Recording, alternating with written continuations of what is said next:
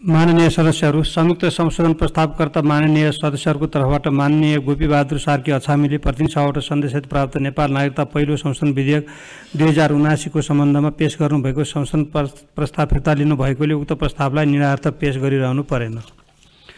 माननीय सदस्यहरू प्रतिनिधि सभाबाट सन्देशसहित प्राप्त नेपाल नागरिकता पहिलो संशोधन विधेयक दुई हजार उनासीमाथि संशोधन पेश गर्ने संशोधन प्रस्तावकर्ता माननीय सदस्य खेमलाल देवकोटालाई आफ्नो संशोधन प्रस्ताव फिर्ता लिन चाहनुहुन्छ भने उक्त संशोधन प्रस्ताव फिर्ता लिन समय दिन्छु।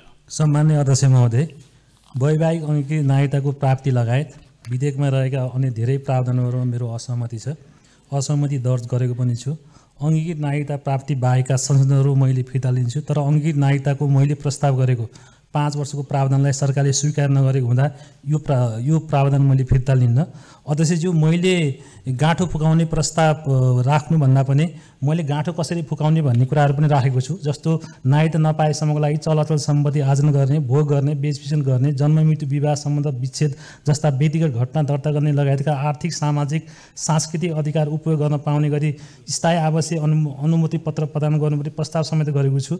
वास्तवमा मेरो प्रस्ताव ठिक छ जस्तो लाग्छ। त्यस कारण मैले राखेको संशोधन प्रस्ताव मैले चाहिँ यो फिर्ता लिन हस्त धन्यवाद। मान्य सदस्यहरू संशोधन प्रस्तावकर्ता मान्य सदस्य खिमलाल देवकोटाले प्रतिनिधि सभाबाट सन्देशसहित प्राप्त नेपाल नागरिकता पहिलो संशोधन विधेयक दुई हजार उनासीको सम्बन्धमा पेश गर्नुभएको संशोधन प्रस्ताव फिर्ता नलिनु भएकोले उक्त संशोधन प्रस्तावलाई निरार्थ प्रस्तुत गर्दछु। यो प्रस्तावको पक्षमा हुने माननीय सदस्यले हुन्छ भन्नुहोला र यसको विपक्षमा हुने माननीय सदस्यले हुन्न भन्नुहोला। यो प्रस्तावको पक्षमा हुने माननीय सदस्यले हुन्छ भन्नुहोस्। यो प्रस्तावको विपक्षमा हुने माननीय सदस्यले हुन्न भन्नुहोस्।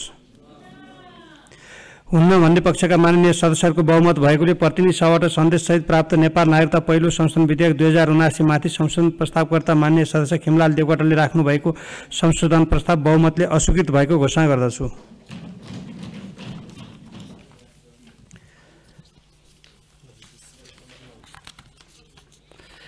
मान्य सदस्यहरू अब म प्रतिनिधि सभाबाट सन्देशसहित प्राप्त नेपाल नागरिकता पहिलो संशोधन विधेयक दुई हजार उनासीमाथि संशोधन पेश गर्ने संयुक्त संशोधन प्रस्तावकर्ता मान्य सदस्यहरूको तर्फबाट माननीय भगवती नेौपानेलाई आफ्नो संशोधन प्रस्ताव फिर्ता लिन चाहनुहुन्छ भने उक्त संशोधन प्रस्ताव फिर्ता लिन समय दिन्छु।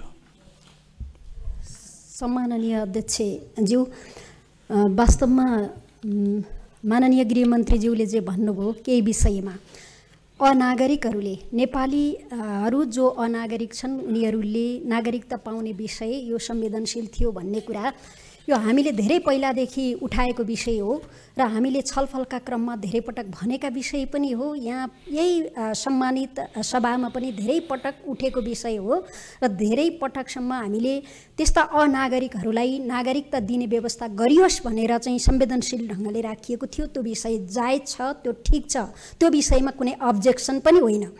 तर जहाँसम्म यो अङ्गीकृत नागरिकताको विषयमा हामीले संशोधन प्रस्ताव राखेका थियौँ समूहको तर्फबाट संयुक्त रूपमा। र यो विषयमा चाहिँ वास्तवमा अहिले नेपालीहरूले राष्ट्रिय सभालाई सबै नागरिकहरूले हेरेर बस्नु भएको छ। राष्ट्रिय सभा एउटा परिपक्व सभा हो। त्यसैले त्यहाँ विवेक पुग्छ भन्ने हिसाबले चाहिँ सबै नागरिकहरूले हामीलाई पर्खिएर बसिराख्नु भएको छ हामीलाई हेरेर बस्नु भएको छ। त्यसकारण म फेरि पनि भन्छु यो संवेदनशील विषय हो। जहाँसम्म संविधानको धारा एघारको उपधारा दुई छमा व्यवस्था भएअनुसार यसलाई कानुन बनाएर त्यही अनुसार चाहिँ एउटा अङ्गीकृत नागरिकता दिने कानुन व्यवस्था गर्न सकिन्छ। त्यसैले यो विषयमा संविधान अनुसारै पनि गर्न सकिने कुरा चाहिँ यो व्यवस्था गर्न कानुन बनाउने कुरामा हामीले विवेक पुर्याउनु पर्छ भन्ने कुरा म राख्न चाहन्छु। त्यस्तै गरेर जुन यो विषय हामीले जसरी यसको संवेदनशीलतालाई उठाएका थियौँ त्यसमा कुनै सम्बोधन चाहिँ मन्त्रीज्यूबाट भएन। वास्तवमा सहमति गर्दै जाउँला सहमति जुटाउँदै जाउँला भन्ने विषय चाहिँ यति धेरै संवेदनशील विषयमा यस्तो कुरा स्वीकार्य हुँदैन। त्यसैले गलत इतिहास रच्ने कुरामा यो मन्जुर छैन।